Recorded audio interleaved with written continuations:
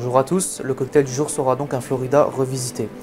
Alors pour ce faire, vous aurez besoin de 8 centilitres de jus de cranberry, 8 centilitres de jus d'orange, 1 centilitre de sirop de cerise et 2 centilitres de jus de citron. Pour commencer, vous allez venir vous de votre glace.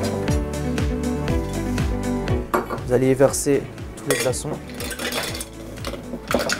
Voilà, comme ceci. Et donc en prendre un pour rafraîchir votre verre. Vous allez rafraîchir votre shake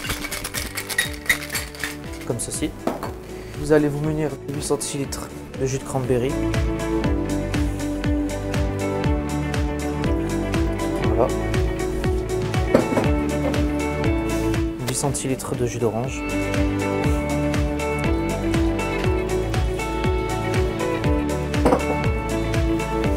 Un centilitre de sirop de cerise.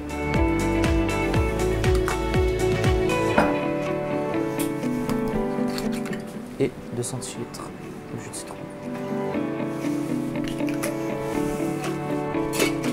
Vous allez venir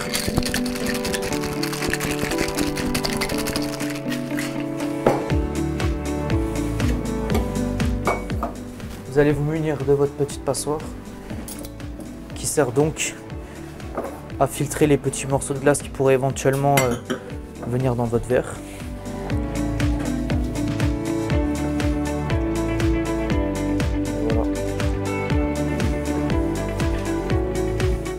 Souhaitant une agréable dégustation.